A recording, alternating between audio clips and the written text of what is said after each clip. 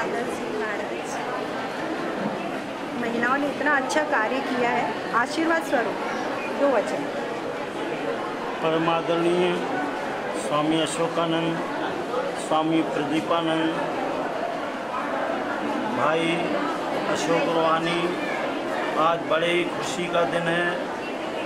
पैंसठ साल में पहली बार महिलाओं ने एक सिंधु जागृति महिला सेवा समिति बनाकर जबलपुर का नाम रोशन किया है। हम लोग हर चैनल वाले को बोलते हैं, जितने भी कार्यक्रम सभ्यता के हों, ज़्यादा से ज़्यादा दिखाओ, ताकि आने वाली बच्चियाँ उस मंजिल पर पहुँच के इस भारत का, विश्व का नाम रोशन करें।